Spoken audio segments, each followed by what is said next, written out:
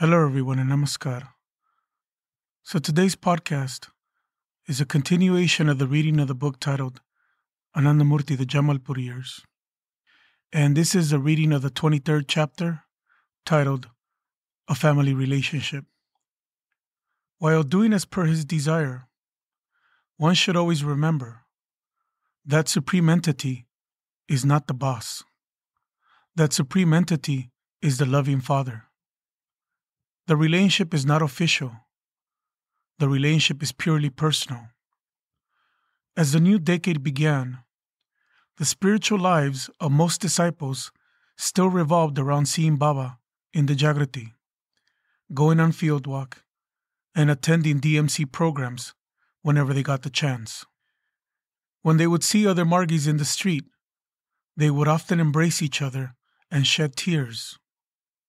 One day, Baba was talking with Kshitij when he warned him that this devotional phase would not last much longer.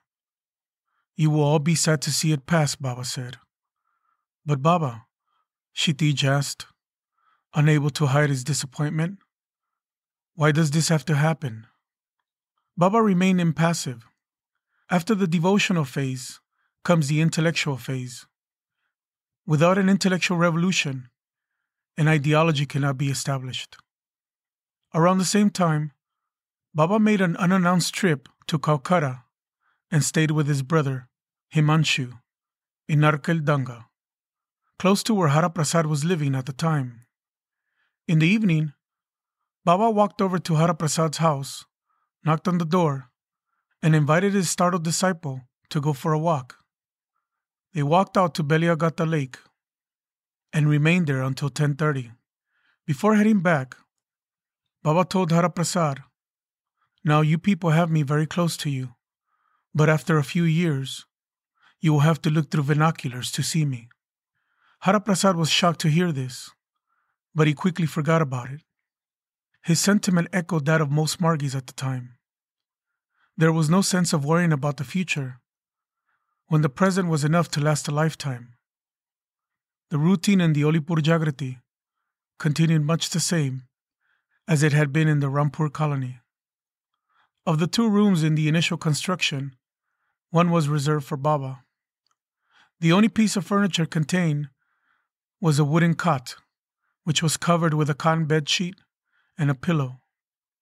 The Margis cleaned the room each day with meticulous care and brought fresh flowers and kept them in a vase near the cot. These daily duties were considered a privilege for some fortunate disciple. A picture of Baba was kept on the cot whenever he was not there, and whatever Margis were present would sit in front of it during the morning and evening hours to sing devotional songs and practice their meditation. On Sundays and holidays, Baba gave general darshan, and occasionally, on weekday evenings, if the weather did not permit him to go to the field. From time to time, he gave evening classes there for acharyas and margis. On rare occasions, he also stopped by in the morning to take care of the organizational work before continuing on to the office, a practice that grew more and more frequent as the 60s wore on and the organization continued to grow.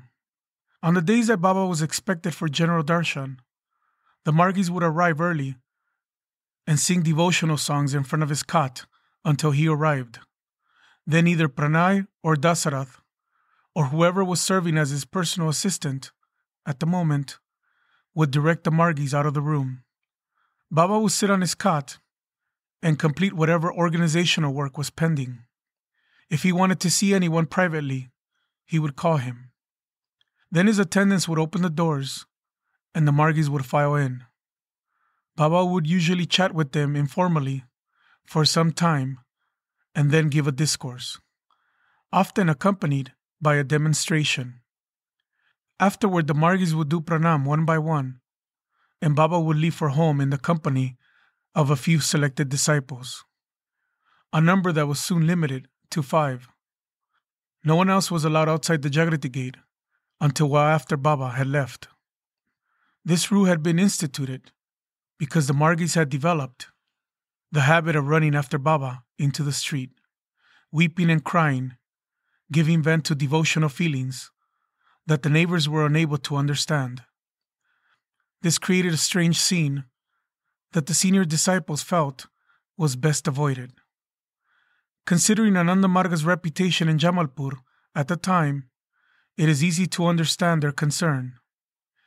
Ramchandra, who later took initiation and became an ardent disciple, remembered his impressions of Ananda Marga when he was growing up in Jamalpur.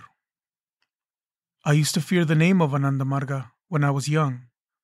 We used to pass by the Ananda Marga ashram on our way to school. My schoolmates used to say that Ananda Marga was a place of great magic. It was protected by a magic boundary wall, and it was dangerous to talk when you were near it. So we used to remain silent whenever we passed by that compound. The word had spread all through Jamalpur that Baba was a great magician. I used to think that if I saw Baba, he can do something to me. So I always tried to avoid seeing him or letting him see me. During the 50s and early 60s, there was no system of recording Baba's general darshan talks or taking notes, nor did Baba redictate them afterward, as he did with his DMC and RU talks. Occasionally, some interested devotee will take notes of his own volition but the vast majority of those discourses have been lost. In March 1963, one devotee took notes during a general darshan. The following excerpts show the informal nature of Baba's general darshan talks at that time. In the preface to his notes, this disciple explained that while it was too difficult to preserve Baba's exact words, the spirit of what Baba said was faithfully reproduced. As Baba took his seat, he said, In the Mahabharata period, we find two persons coming quite close to Sri Krishna Arjuna and Sudama. Both were greatly devoted to him. Now tell me, which of the two is a greater devotee of Sri Krishna? And whom would you choose as the ideal of your life? One by one, the persons present there expressed their views. When all had expressed themselves, Baba said, Devotion means unconditional self surrender. One who has more of it is a greater devotee than one who has less. Arjuna and Sudama were both great devotees. But while comparing their devotion by this yardstick, we have to say that Sudama was a greater devotee. Arjuna refused to fight when Sri Krishna asked him to do so. This shows that Arjuna did not have full faith in and complete surrender to Sri Krishna. On the other hand, we noticed a complete surrender by Sudama. He never desired anything from Krishna, his friend who could have given him anything and everything. Even when his wife forced him to go to Sri Krishna to request him to remove his poverty. He went to him, but didn't ask for a thing. Now, whom should you take as your ideal? Neither of the two, neither Arjuna nor Sudama. Neither of the two is perfect. So, how can you take anything imperfect as the ideal of your life? Your ideal is to be perfect. So, your ideal should be the Lord and the Lord alone. No one else should be your ideal.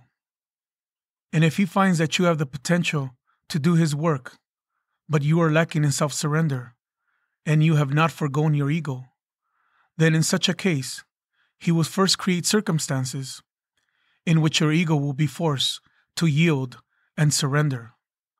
Only after this will the Lord choose you to be the medium for his work. This was the case with Arjuna. Arjuna had the potential but he also had some ego left in him. Sri Krishna first made him surrender by showing him his cosmic form, and then alone was Arjuna chosen to be his medium. In one of these general darshans, Baba asked everyone if they wanted to hear the cosmic sound. Their response was an enthusiastic yes. Baba asked for the doors and windows to be closed. He had the women sit on one side and the men on the other. Then he asked everyone to begin meditating. Those who do not hear the sound, he said, should raise their hands, but remain silent.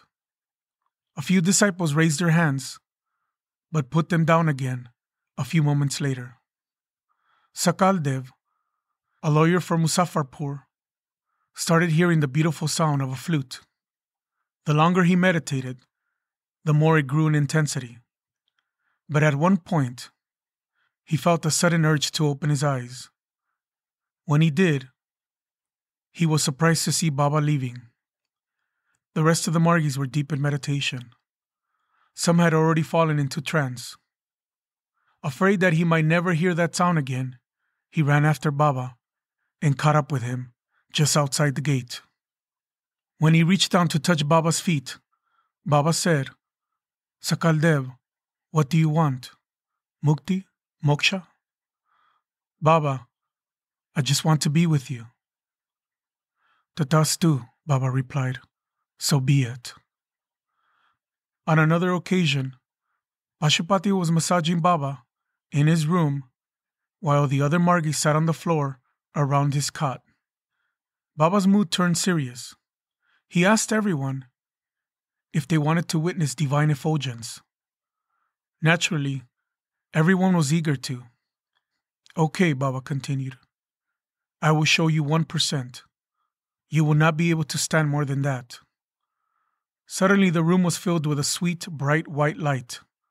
The joy they felt was so intense that everyone was forced to close their eyes. After a few moments, the light disappeared. You see, Baba said, and this is only 1%. Though not even 1% of the devotees' experiences with Baba in those early days has been preserved in writing, that which has is enough to dazzle the eyes of anyone who tries to look back at that period and imagine what it was like to be around Baba in the days prior to the intellectual phase, before the organization grew to become a global mission with hundreds of thousands of disciples. The Jamalpur Jagrati was the scene of many of those experiences, the one place, perhaps, along with the tiger's grave, that best evokes the aura of that period. What follows now are a few incidents that took place in the Jagrati around the beginning of the decade. Madan was a high school student in Bhagalpur at that time. His family disapproved of Ananda Marga and didn't allow him to go to Jamalpur to see Baba. So he used to sneak out whenever he could and make the trip without permission. Late one afternoon, he slipped out of the house unnoticed and went to the station to board an express train to Jamalpur, a journey of an hour and a half. When he arrived at the Jagrati, he requested Pranay for permission to go on field walk, but the list was already full. Bitterly disappointed by his ill fortune, he went into Baba's room and sat for meditation. Instead of meditating, however, he began praying to Baba to make it rain, knowing that if it rained, Baba and the disciples would have to come back to the ashram. In the next room, there was an axe on the wall. When he remembered this, Madan mentally threatened Baba that he would kill himself with the axe if Baba didn't come to see him. Then he started fighting directly with Prakriti, insisting that she make it rain so that Baba would come back. After an hour of this supposed meditation, it started to rain. A short while later, Madan heard a commotion at the gate, signaling Baba's arrival. Rather than run to meet Baba, as the Margis normally did, he kept meditating, thinking, if Baba really loves me, he will come and look for me rather than making me search for him. A few moments later, he heard Baba asking, Where is Madan? Madan felt a thrill. He got up from his meditation. The first thing Baba said when he saw him was, What do you think you're doing? You earn 50 paisa and you go ahead and spend one rupee. Do you understand? No, Baba. Whatever you achieve in spiritual practice, you should not spend it. If you waste your power fighting Prakriti or demanding something that you should not be asking for, then you are sure to meet your downfall. Do you want to leave Ananda Marga? Do you want to deviate from the spiritual path? No, Baba. I don't want that either. So from now on, do not utilize your spiritual power in such a foolish way. Do you understand? Yes, Baba. But I have to face so many problems to be able to come and see you. My family won't give me permission to come. And then I get here, and Pranayda won't let me go on field walk. Baba held up his hand. Okay, okay. But promise me you won't do this anymore. Baba inquired politely about Madan's family and the local Margis. Finally, he asked him if he had money to get back home. He didn't. Baba reached into his pocket and handed him a two rupee note. One day, Guarda was visiting his maternal uncle's brother, Ratu, and the talk turned to Anandamarga. Guarda tried to convince his relative of his guru's greatness, but Ratu was less than receptive. Look, Ratu said, there is one sure sign that all great spiritual gurus have. The big toe of the right foot is abnormally large. Does your guru have this? Guarda didn't know what to say, so he remained silent. Well, then, Ratu continued, unless he has an abnormally large big toe, I can't accept him as a spiritual guru. A few days later, Guarda was sitting in the Jagrati with several Margi friends, chatting about Indian cinema, when Baba showed up unexpectedly. After everyone did pranam, Baba asked the boys what they were gossiping about. No one said anything.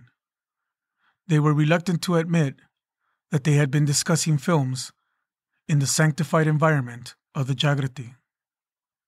I think you were gossiping about cinema, Baba said, with a smile on his face. Is it not? He turned and addressed Guarda directly. Okay, then. Tell me the name of the film in which this song is sung. Baba sang the first lines from a popular song. But neither Guarda nor any of the other boys could remember the film. What? Baba said. You all are experts in Hindi cinema. I don't see a single film. Try another one. Baba sang a few lines from another song, but again no one could guess what the film it was from. Then Baba turned again to Guarda. I can see that the name of the film is coming to you, but you don't quite catch it. Do one thing catch the big toe of my right foot and see if that helps. Baba stuck out his right foot, and Guarda caught hold of the big toe. As soon as he did, he forgot all about the film. All he could remember was his relative's challenge. He was startled to see that Baba's big toe appeared to be abnormally large. The other Margi boys asked him if he remembered the name of the film. Yes, yes, I remember, he said. But he was so engrossed in Baba's toe that he didn't say anything else. After Baba left, he ran straight to Ratu's house to tell him that he was right. Baba's big toe was just as he had said it should be. Even after Pratibha took initiation, she continued to perform her traditional Hindu rituals at home. But instead of worshipping Krishna, she replaced her old idols with a photo of Baba. Each day, she would do her traditional arati, waving her tray with its lamp and its incense before the altar with Baba's picture. Once, after returning from the Jagrati, she scolded her daughters for not lighting the lamps on the altar. But this time, her daughters refused to indulge her. Now that you've joined Ananda Marga, you shouldn't do this anymore, they told her.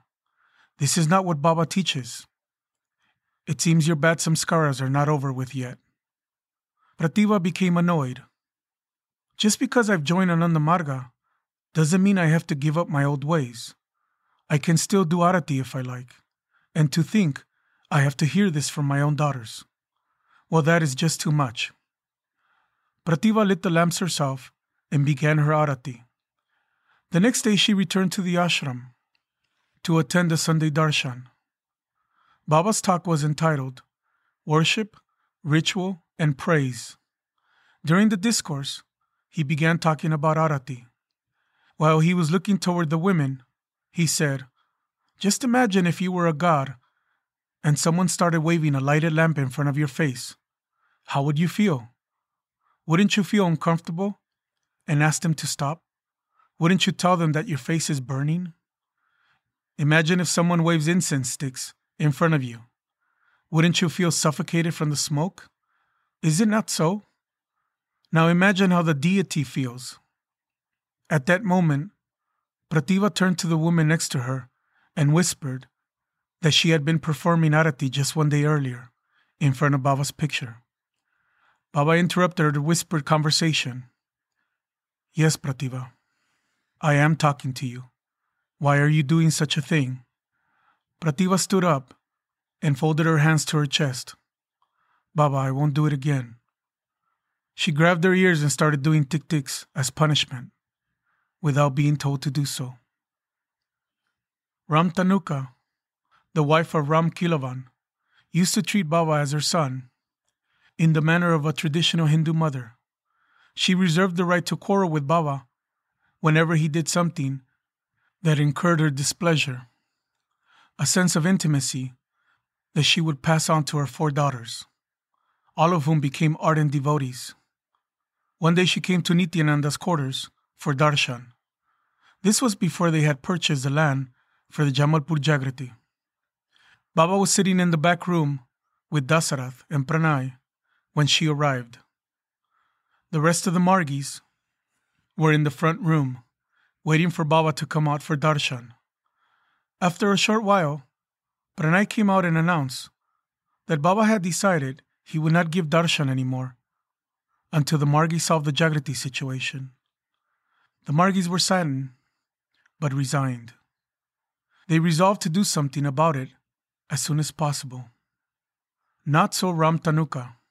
When Baba came out of the room and began receiving the pranams of the Margis, before heading for home, she rebuked him loudly. I have been doing idol worship since I was 10, but I gave it up for your sake when I got initiated. The whole society has gone against me, but I haven't minded. I left them also and gave my whole mind to you. And you say you won't give darshan? Then what have I come to Ananda Marga for? Better you strike my name off the register of Ananda Marga. Dasarath tried to calm her down, but Baba put his hand on him to stop. Mother, you are quite correct, he said, like a son being chastised by his mother. He sat down and gave darshan. Some months later, she attended a darshan in the newly constructed Jamalpur Jagrati. When she entered the room, Baba was sitting on the cot with his legs hanging over the side. Also entering the room was a poorly dressed man in his fifties from Darbhanga, who was carrying a pitcher of water that he had drawn from the well. A couple of Margis, including Bindeshwari, had asked him not to sit close to Baba. They were rather perturbed that someone who looked more like a beggar than a devotee was in the darshan hall at all. But the man did not pay them any heed. He managed to get a seat right in front. Once everyone was settled, he positioned his water pot and reached out with a pair of unsteady hands in an obvious effort to wash Baba's feet. As soon as he reached out his hands, Baba pulled up his feet and sat cross legged. When she saw this, Ramtanuka became incensed. Baba, you put your feet back down right this minute. Bindeshwari immediately objected. This man is a sinner, he told her. He may be, she said, but if a poor sinner cannot get refuge at the Lord's feet, then where will he go for refuge? Baba, you put your feet down, or else you might as well go back to the seventh heaven, or wherever it is you came from. Baba put his feet down, and the tearful devotee's wish was fulfilled. Afterward, Bindeshwari tried to take her to task for scolding Baba. You have no idea. This fellow was keeping marijuana in his blanket. Baba may have given you the divine sight, she retorted, but I only see one thing the person's devotion for Baba. One day, Ram Tanuka prepared a batch of peras for Baba, a milk sweet that legend has it Krishna loved as a child. She brought them with her to the Jagrati one Sunday and presented them to Baba after he had finished delivering his discourse. Baba, today I have prepared a special dish. It's something I know you love. You will have to eat all of them. I won't allow you to go without finishing them. What have you brought for me, mother? Peras, Baba. Oh, peras? You are quite right. I love peras. But not today, mother. My mother will have my meal waiting for me when I get home. She would be upset if I spoiled my appetite. I will eat them another time, but not today. Ramtanuka would not be dissuaded. No, Baba, you must eat them today. Finally, in the face of her insistence, Baba relented and accepted one pera. How tasty, he said, with obvious relish. I have never had a pera this tasty. Baba got up to go, but again Ramtanuka insisted he finish the rest of the plate before he leave. No, mother, no more today, Baba told her, pointing to his stomach. But Ramtanuka would not listen. She continued to insist. All right, he said, but you must feed me from your own hand. Delighted by the offer, Ramtanuka took a pera, and Baba opened his mouth.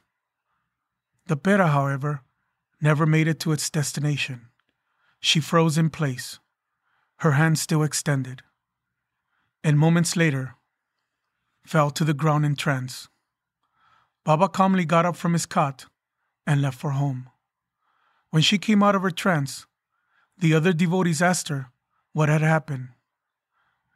When Baba opened his mouth to eat the pera, she said, I saw the whole universe the sun, moon, stars, galaxies. I saw them all. The entire cosmos was dancing in his mouth. After this experience, she would often lose herself in various states of Baba when she saw Baba, sometimes merely upon hearing Baba's name, a state of affairs that continued for months afterward. Sarala Bihari arrived for her first darshan with Baba in a manner common to many of the female disciples. Her husband brought her, and as a proper Hindu wife, she could not refuse. She had taken initiation for the same reason a few months earlier in Jaipur, where her husband, Mangal Bihari, was the Deputy Secretary of Finance for the state government of Rajasthan. When it came time for them to take their next vacation, they decided to go to Puri, a popular beach resort on the east coast of India, and one of the important Hindu pilgrimage sites. There they would have an opportunity to perform their worship and enjoy the beaches at the same time. The vacation was planned for two weeks. When Mangal Bihari informed his acharya, Shankarananda, of their plans, Nityananda, who was on tour there, suggested that they stop along the way in Jamalpur and see their guru for the first time, an opportunity that Mangal Bihari was eager to take advantage of.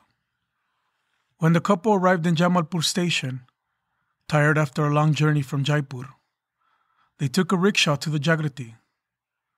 They were expecting to find a traditional Indian ashram, large and luxurious, full of flower lined paths shady trees, spreading lawns, marble floors, and comfortable accommodations for visiting devotees. What they found instead was a closed gate to what they could only be described as a rather ramshackle property, seemingly still under construction, in a poorer section of town. No one was there to receive them or even open the gate. After knocking for a few minutes, one of the neighbors stuck her head out and volunteered the information that they were owing Monger for some program. Sarala wanted to give up then and there. She suggested to her husband that they find some place to take a shower and then catch the next train for Puri. But he convinced her that as long as they had taken the trouble to get down in Jamalpur, they might as well continue on to Munger. After all, it was only seven kilometers away. They returned to the station and caught a bus that turned out to be full of Margis heading for the DMC program. When they arrived at the DMC site, the first thing they did was to ask where they could find a bathroom to wash up after their long journey. They were directed to some portable bathrooms, whose condition so shocked Sarala's sensibilities that she refused to use them. Her aristocratic husband, a bit shocked himself and concerned about his wife, went to talk to the acharyas about an alternative. One of them suggested they take a rickshaw to the nearby Ganges and bathe there. In the end, it seemed like the best solution possible. When they went to catch a rickshaw, Sarala was startled to see that the rickshaw driver, a tall, dark, bare chested man, seemed identical to the strange figure she had seen in a troubling dream just before leaving for Puri. When the driver told them he would wait for them while they bathed, because they would have difficulties getting a rickshaw back, despite their insistence that it was not necessary, and then disappeared after dropping them off at the DMC site without even collecting his fare. Her sense of foreboding increased exponentially.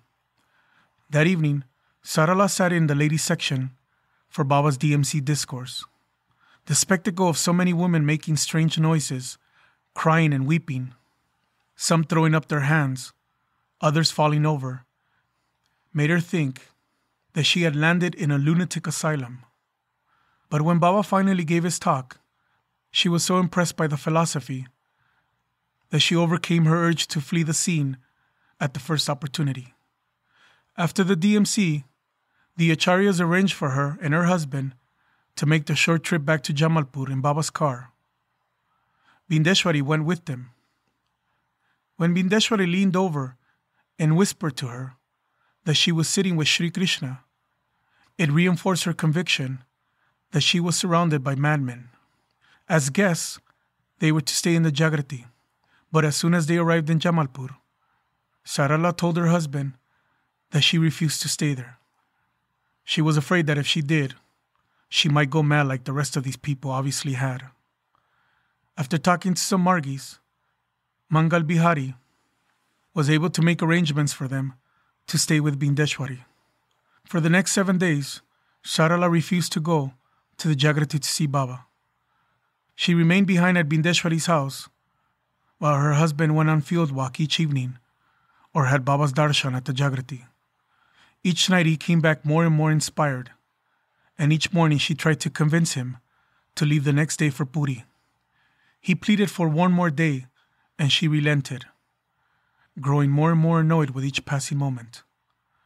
When the week was about to finish, her husband realized that he would have a domestic revolt on his hands if he put off their departure any longer.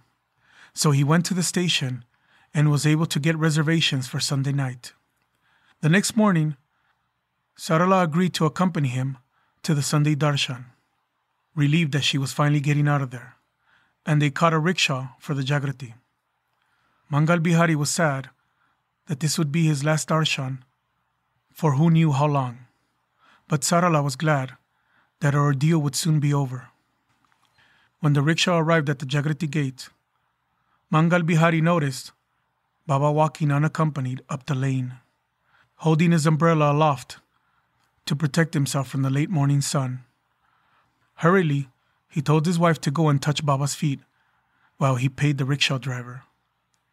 By the time he was done haggling over the price, he saw that Baba and his wife had already disappeared through the Jagrati gate. He went in and was somehow able to squeeze into the room where Baba was sitting. Sarala remained with the women crowded outside in the next room forced to watch Baba through the open door that connected the two rooms. In keeping with the mores of traditional Hindu society, which would have mounted a social scandal had women and men been crowded together so tightly in the same room. It was a hot summer day. Baba's discourse went on for what seemed an eternity to Mangal Bihari, acutely aware of how uncomfortable his wife must be feeling in that heat, sandwiched among a crowd of devotionally maddened females. He knew that the more time that passed, the hotter the reception he would get when he had to face her. When Baba's talk was finally over, and the master had passed through the crowd, he went to look for his wife, steeling himself to face her displeasure. Instead, he found her still sitting, her head slumped over and her eyes closed. Surprised, he called her name, but didn't get any response. Then he saw the tears streaming silently down her cheeks. Gradually, it dawned on him that his wife was in some kind of a trance. Finally, she whispered that she did not want to open her eyes. The feeling was so sweet. He sat there patiently until she finally opened them. Then he told her softly that they could go now and get ready to leave for Puri. We are not going anywhere, Sarala told him. We are staying right here with Baba. Afterward, Sarala recounted for her husband and others what had transpired when she went to do pranam to Baba outside the gate. After she touched Baba's feet and straightened up, she saw bright effulgence. Within that effulgence, she saw the image of Shiva that she worshipped at home every Sunday. Then the image metamorphosed back into Baba's form, and it seemed as if the entire world were contained within him. Mother, she heard him say, you must be feeling hot. Come under the umbrella with me. She ducked under the umbrella and accompanied Baba into the ashram. As they walked in, Baba smiled and told her, Bindeshwari says that you have gone your Krishna. Is it so? Inside the gate, the Margis were waiting to garland Baba. One of them gave her a garland to place around Baba's neck. As she garlanded him, Baba said, Mother, you had made me like the Shiva of your desires. Baba went into the room and sat on the cot. She took her seat among the women. When she looked at Baba, the room filled with the same bright effulgence until that was all she could see. And she remained in that state until she heard her husband calling her name. After Sarala and Mangal Bihari returned to Jaipur, they convinced her uncle Tej Karan to take initiation and go to Jamalpur for Baba's darshan. Greatly inspired by their stories of Baba's divine presence and his many miracles, Tej Karan left immediately after promising to write them every day with an account of his experiences. For nine days, he wrote as promised, each letter more discouraged than the previous. He appreciated the spiritual teachings. He admired the rational scientific bent of Baba's philosophy and enjoyed the cheerful company of the devotees. He described all of this amply in his letters, but he had not seen a single miracle. In the ninth letter, he wrote Mangal Bihari that he was going to give it one more day. If he did not see any miracle, then he would not accept Baba as a divine guru and would return to Jaipur. That day in Darshan, Baba looked in his direction and said, A few people are planning to leave today. Before they leave, they want to see a miracle. However, in order to see a miracle, one has to become miraculous oneself. Baba fixed his gaze on Tej Karan. Karan, you have done nothing in your life to deserve seeing a miracle. Still, I am going to show you one. Come here. Tej came to the front of the room and sat in front of Baba. Baba touched him between the eyebrows at the Agya Chakra. Immediately he cried out, flung up his arms, and fell back in a state of trance. Baba instructed several acharyas to massage him and give him hot milk when he came out of samadhi. As they massaged him, Tej Karan writhed and wriggled like a snake. This made it difficult for them to grab hold of him. But as they continued the massage, the convulsions gradually abated and he finally became motionless. Afterward, he described his experience. The moment Baba touched me, an immense light penetrated me, and I fell flat. I was in extreme bliss and can feel the Kundalini running from Muladhara to Agya like an electric current. People told me that I was crying, Baba, Baba, loudly, and throwing my arms and legs, and that he told three acharyas to massage me. I was in this state for about eight hours. It happened at eight in the morning, and I remained like that until around five in the afternoon.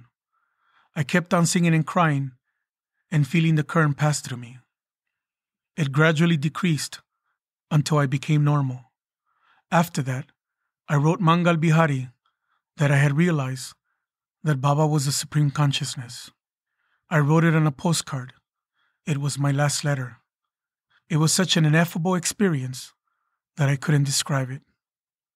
It would take Tej Karan a full month before he would regain his normal consciousness. In the winter of 1960, a college student by the name of Arun, who was studying in Muzaffarpur, arrived in Jamalpur for his first darshan. He arrived at the ashram about 8 in the evening and had his personal contact, an experience that he would not be willing to share.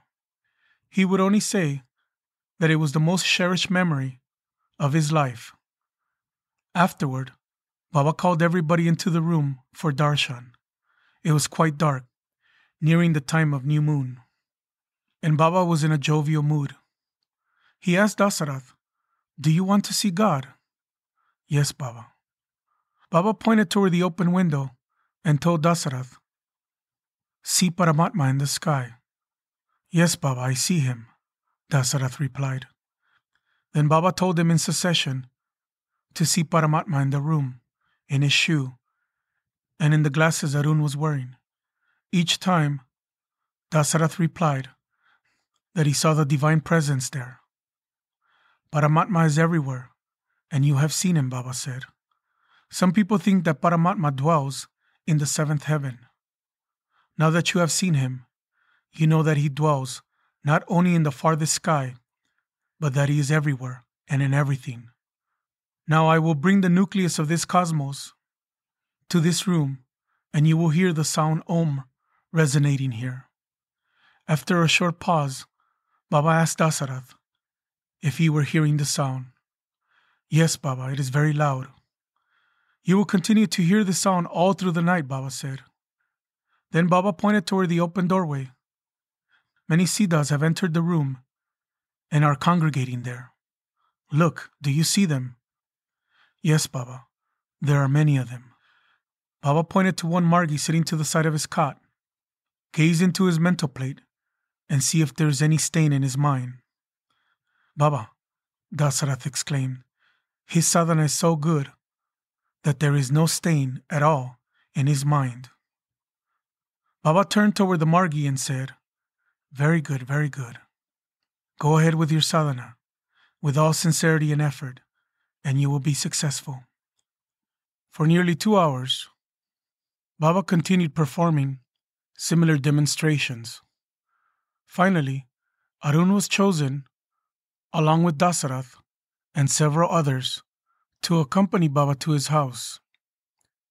After Baba entered his gate, Arun went up to Dasarath, burning with curiosity, and asked him what he had seen during the demonstration. Dasarath broke into a broad smile, like an innocent child. Whenever Baba pointed, I saw a soothing, milky white light in the sky, in Baba's shoe, in the room, in your glasses. I saw the entire world enveloped in that beautiful effulgence. It was everywhere. At that time, the Jamalpur Jagriti did not have a flush toilet, but only a service toilet that required frequent cleaning. Once, when the person who regularly cleaned it was absent for several days, it reached such a state that the devotees had to think twice about using it. Jaidari Pandit a young disciple from an upper caste family who was visiting from Motihari, thought it deplorable that such a situation should exist in the place where his guru came every day to meet the devotees. Despite his caste prohibitions, he took it upon himself to clean the toilet. Afterward, he took a bath at the well and changed his clothes. But he was unable to shake the conviction that the foul odor still clung to his body. He sniffed his right hand and then his left, distinctly uncomfortable, sure that he had not gotten rid of it. At dusk, Baba showed up at the Jagrati, unexpected and unannounced. It was only when a couple of Margis saw him standing in the courtyard that anyone realized he was there. They started shouting, Baba has come, Baba has come. This brought Madhab, the Jagrati manager, running. After doing pranam, he told Baba that he would make immediate arrangements for General Darshan. No, Baba told him, I won't sit for Darshan today. But please call Jaidari and tell him that I want to speak to him. Jaidari, who was meditating in Baba's room at the time, came running as soon as he was called. After accepting his pranam, Baba asked him to extend his hands. He took Jaidari's hands in his own and started smelling them. Jaidari, what a beautiful fragrance is coming from your hands. Jaidari recoiled in embarrassment, thinking that Baba was teasing him for the bad smell. But Baba said, No, no, it's true, Jaidari. Smell your right hand. Jaidari smelled his right hand and was stunned to discover a wonderful fragrance coming from it. Now smell your left hand. He smelled his left hand and discovered a different, indescribably beautiful fragrance. In fact, Baba continued, it seems that wonderful fragrances are coming from every part of your body. Jaidari smelled other parts of his body, and in each, he discovered a different beautiful fragrance. He felt exalted by a growing sense of ecstasy. Baba patted his cheek and said, Good actions always bear good results.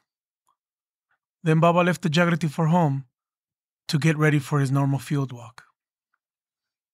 One of Baba's favorite passages from the Bhagavad Gita, one that he would often quote for the disciples, was This Maya is insurmountable, but he who has taken shelter in me will surely go beyond the influence of this Maya. Many of the disciples took this teaching to heart and came to rely on Baba, not only for their spiritual salvation, but to rescue them from their mundane difficulties as well. Ram Bahadur Singh was one of these, a deputy superintendent of police in charge of highway vigilance in Barhi. His refusal to accept bribes or cooperate in any way with the criminal element in that town had made him many enemies, a fact which he would shrug off, saying, Baba will take care.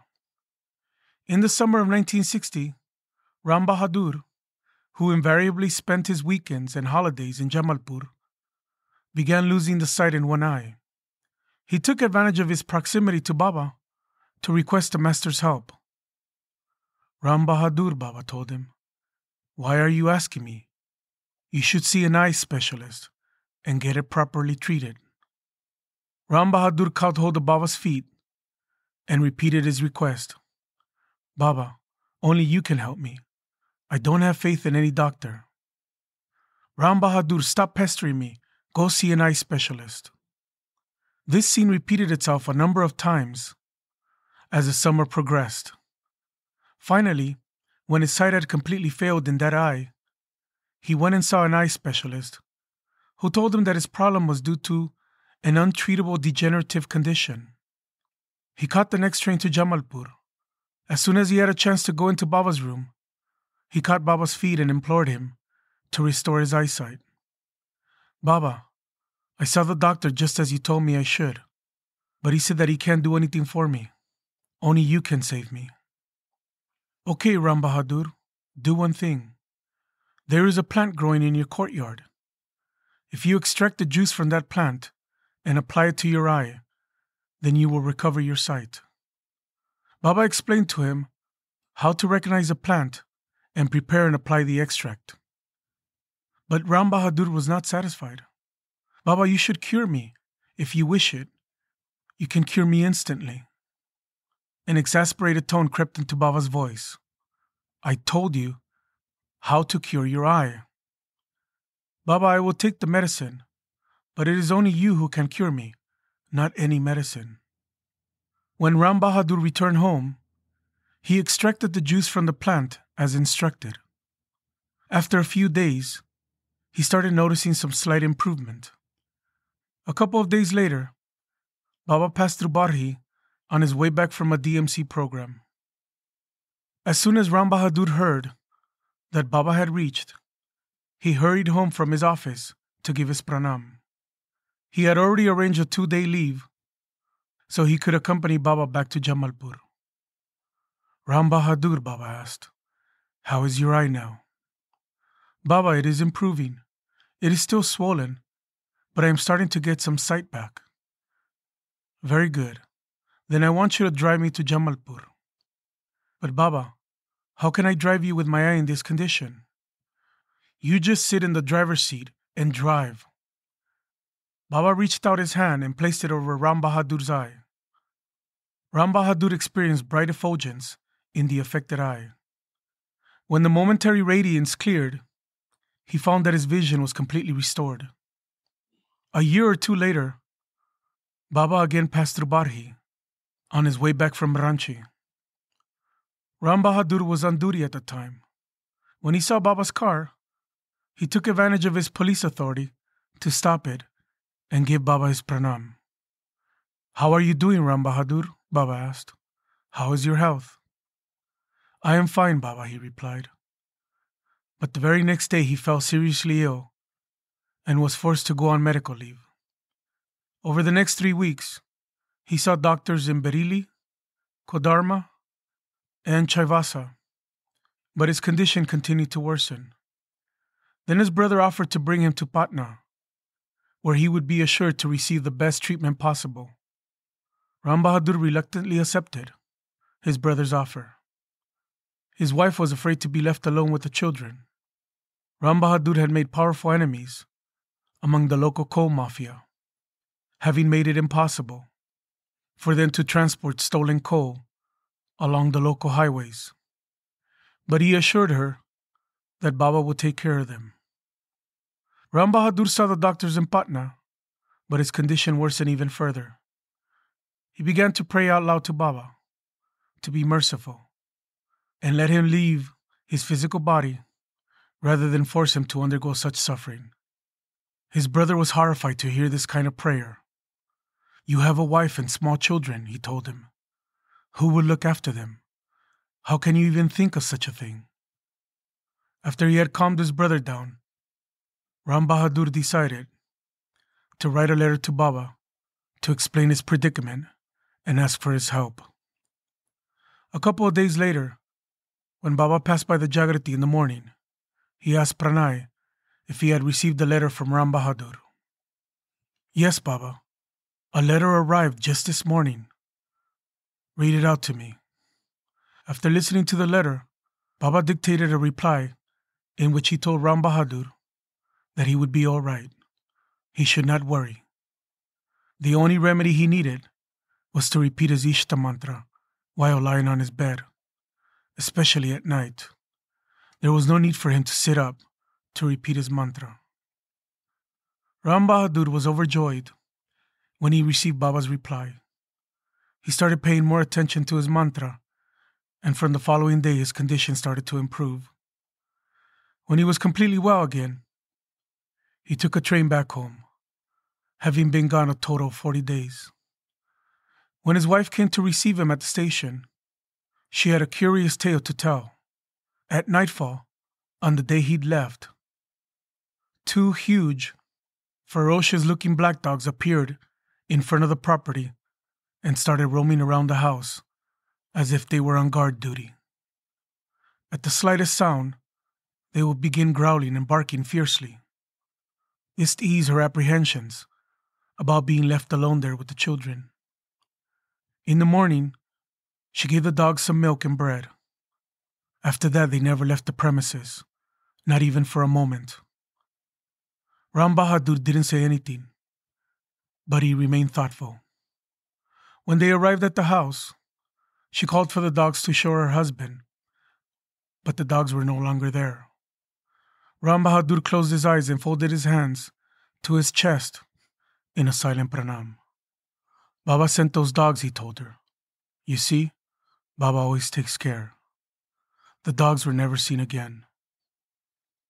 One night, Ramchandra Paswan had to change trains at Barauni Junction on the north side of the river Ganges.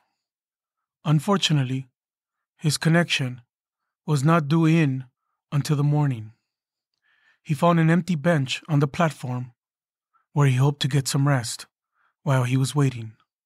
It was a hot summer night, so he changed into a pair of shorts and a t shirt and placed his folded pants and shirt on top of his suitcase below the bench he wanted very much to be able to catch a few hours of sleep, so he decided to entrust his belongings to Baba.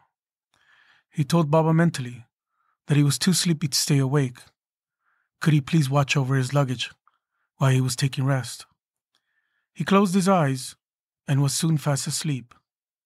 When he woke up in the morning, however, his luggage and his clothes were gone, his money as well, since he had left his wallet inside the suitcase. In a fit of frustration, he got angry at Baba. Baba, when I went to sleep, I left you in charge of my belongings. What were you doing? Were you also asleep? Everything I had is gone. Now I'm going to get home with only a pair of shorts and no money. He dropped his head into his hands, blaming Baba and wondering what he was going to do next. Just then, an elderly man stopped in front of the bench and addressed him. Why are you blaming your guru for your own carelessness? That's not right. Anyhow, if you run now to the bus stand, you will find the man who has stolen your luggage. The man turned and walked away. Ramchandra jumped up and rushed to the bus stand. When he reached there, he saw a man carrying a suitcase. He started running after him, shouting. The thief ran away and managed to escape, but only after dropping the suitcase. The next time Ramchandra went to Jamalpur for General Darshan, Baba started talking about how fond the disciples were of testing the Guru. They will go so far as to ask him to guard their luggage so that they can sleep on a railway platform. Looking at Ramchandra, he smiled and said, If I would ever take a real test of my disciples, not very many would pass. In one of his Sunday discourses, Baba talked about the five faces of Shiva. He explained the symbolism behind this concept of ancient Indian mythology. In the center is the eternally blissful face of Kalyana Sundaram. Beyond thought, beyond manifestation, while the other four, two on each side, show varying degrees of sweetness and sternness, causing the devotee to shed either tears of joy and laughter or tears of suffering, remorse, and pain. All four are aspects of Rudra, a name of Shiva that means one who makes others shed tears. In Baba's general darshans, the disciples experience all five faces of Shiva and the tears that went with them. From the divine bliss of samadhi to the extreme discomfort of having their ego forcefully powdered down under the all seeing glare of their Guru's eyes. The face on the far left is known as Vamadeva, the fiercest face of Shiva, the one who metes out merciless punishment to the created beings when necessary for their correction. This was the face of Shiva that would make the devotees tremble when they saw it manifest in Baba, the one they did their best to avoid. Though, as Baba pointed out in his discourse, the underlying purpose is to teach people, not to harm them. One day, Taraknath Ghosh, a police inspector, was sitting in darshan when Baba asked him if he was doing his meditation twice a day. Yes, Baba, Taraknath replied. But occasionally, I miss a session due to time pressure. Do you follow Yama Niyama? Baba asked. Yes, Baba. Is that so? Suddenly, Baba's tone became stern, and his face grew menacing, as if a storm cloud had passed across the face of the sun. Then why did you accept a bribe on such a such day from such a such person? Is this how you follow Yama Niyama? Tell me. Taraknath started shivering. I made a mistake, Baba. I see. Baba then asked the poor Margi from Bhagalpur to stand up. Do you do your sadhana twice a day? he asked. I try, Baba, but it is very difficult. During sadhana time, I am busy tending my cattle. Then when do you do your sadhana? Baba, when my cattle become tired and are resting or grazing nearby, then I sit under a tree and do my meditation. We need people like you in Ananda Marga, not police officers who take bribes. Baba turned again to Taraknath. Tarak Ghosh, as long as you continue with this filthy practice, don't come here to visit me. I don't want to see your face. Tarak started crying. He went out to the veranda and wept where everyone could hear him. In the meantime, Baba continued talking with the rest of the Margis, with his usual serene expression on his face, as if nothing had happened. On another occasion, Devi Chand stopped in Kiul to change trains on his way to Jamalpur from Ranchi. While in Kiul, a leper entered his third class compartment and sat on the floor. Devi Chand started to rebuke him. How dare you, a leper, enter this train? Devi Chand got down and alerted the railway authorities that there was a leper in his compartment. The railway officials came and removed the leper. When Devi Chand arrived at the Jagrati, Baba was sitting with the devotees. He went in front of Baba's cot and did Sastang Pranam. When he got up, he saw Baba glaring at him. Devi Chand, Baba said, this tendency you have of detesting other human beings has grown very powerful. Baba, I don't understand, he said, tears welling in his eyes in the face of Baba's displeasure. When you asked the leper in Kiul to leave your compartment, your mind was full of contempt. You caused them great pain. You are a sadhaka. You should never do such a thing. Such people deserve our mercy, not our contempt.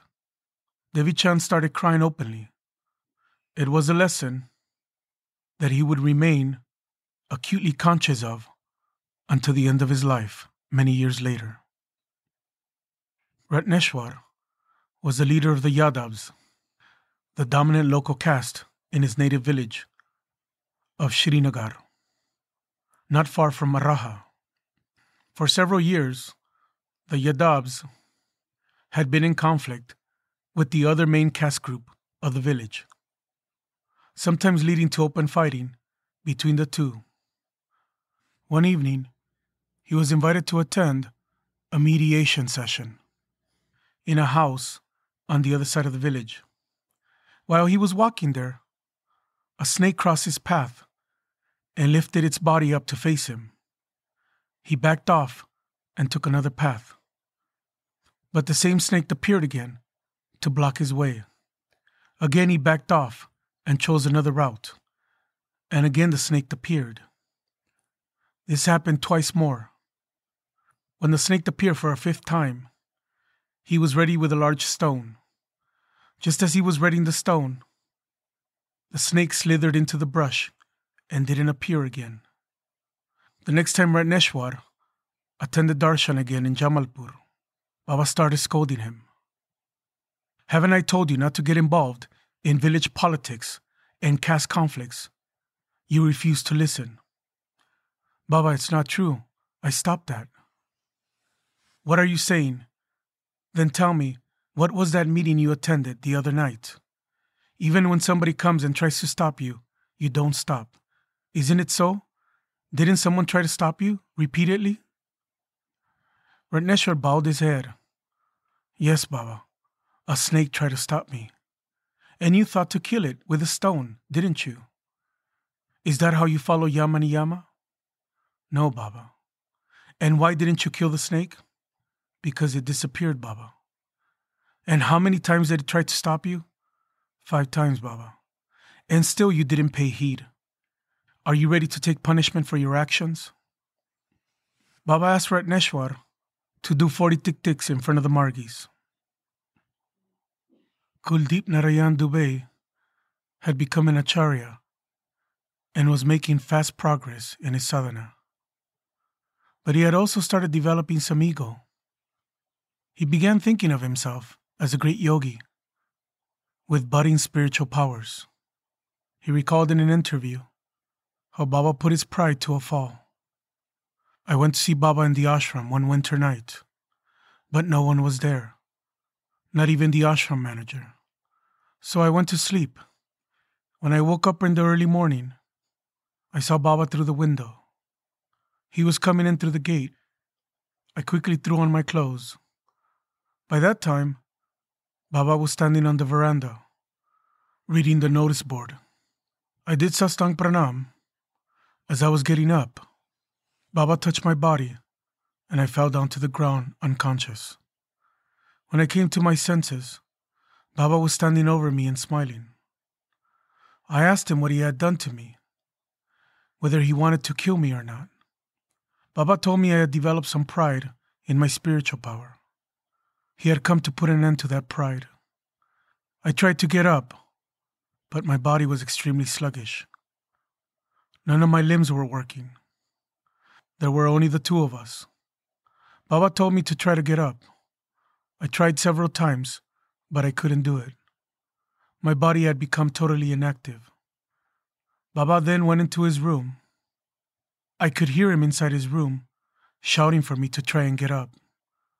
I shouted back, How can I get up in this condition? He called out for me to keep trying. Finally, after many attempts, I was able to get up and go to his room. Baba asked me whether the pride of power in me was finished or not. I told him it was. He asked me whose power it was. I told him it was all his power. This sterner side of Baba was not reserved for disciples alone. Ananda Prasad Thakur, who worked under Asthana in the Central Excise Department, remembered entering a train with Baba and sitting across from a group of teenagers, one boy and three girls. Baba asked the boy in a stern tone of voice who the girls were. It was a tone of voice I was quite familiar with. The boy replied that they were members of his family. Suddenly, Baba started rebuking him. You bastard, you liar. The boy was shocked. Baba started telling who the girls were and where they were from. The moment he began exposing the unsavory relations between the four of them, the teenagers fled the compartment. The rest of the passengers were astonished to see this. Even the littlest deviation from Baba's teachings came under the microscope of his scrutiny. Once Rameshwar Baitha, who by then had been transferred to the Danapur office of Customs and Central Excise, asked his secretary to type out his name and post it on the back of his office chair, as his fellow employees had taken to doing. The following Sunday, he went to Jamalpur for darshan. Baba gave a talk on the universe as the joint property of all. In the middle of the talk, he looked at Rameshwar and said, Rameshwar, just because you paste your name on the back of your chair, it doesn't mean that it becomes your property. Then he continued with his discourse. One hot summer afternoon in the Jagrati, Acharya Deep Narayan and Hari Narayan Sahu got involved in a heated discussion about casteism and the significance of racial differences. Deep Narayan argued the part of the philosophy, while Hari Narayan stubbornly insisted that such differences would remain in everyday life, even if he accepted on principle what the Acharya was saying. Suddenly, in the middle of their conversation, they were stunned to see Baba standing next to them. They had been so engrossed in their discussion that they had failed to see him enter the Jagrati gate. Baba called them both into his room and started scolding them. I was taking rest at home in this terrible afternoon heat when I overheard two sadhakas of the Marga discussing the caste system.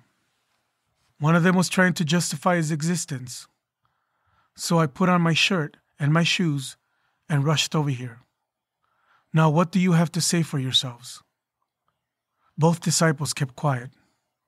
Baba started explaining the evils of the caste system to Harinarayan.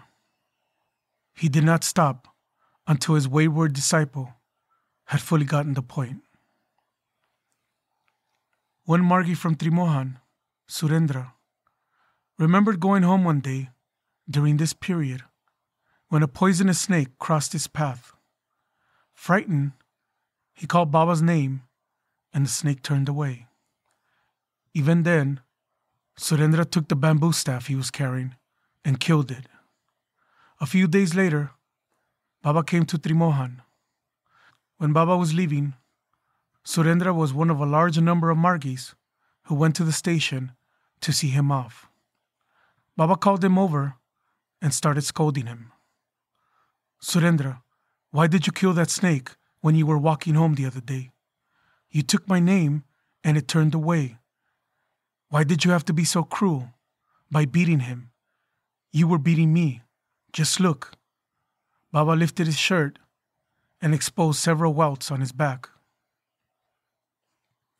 Early in 1960, a young student from Ranchi named Asim Kumar came to Jamalpur to enjoy Baba's darshan for a few days.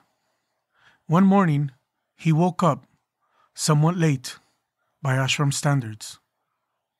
Just as Ananta Ram and his family were sitting down to a breakfast of fresh puris, yogurt, beaten rice, singaras, and warm jalebis, a Bihari sweet especially popular on cold winter mornings. They invited Asim to come and join them for breakfast. When Asim protested that he hadn't meditated yet, Anantaram said, It would be cold by then. Take some breakfast and then go and meditate. His advice seemed reasonable and the food very attractive. So Asim joined them for breakfast. When he was finished, he went to the well to wash his clothes and take a bath before sitting for meditation. Just then, Baba entered the Jagrati gate in a lungi and t shirt, rather than his usual dhoti and kurta, and an umbrella in his hand. It was not yet 7.30, well before Baba's usual time to come to the Jagrati. As Baba passed by the well on the way to his room, Asim could see that he was in a serious mood. Baba called everyone who was staying in the Jagrati to his room, some 10 or 15 people. Once they were gathered there, he asked them how they were, if they had meditated and taken breakfast. Some had eaten, some had not, but everyone had done their meditation, except one. Asim was sitting in a corner. Baba pointed to him without looking and said, Ask this boy if he has done his meditation or not.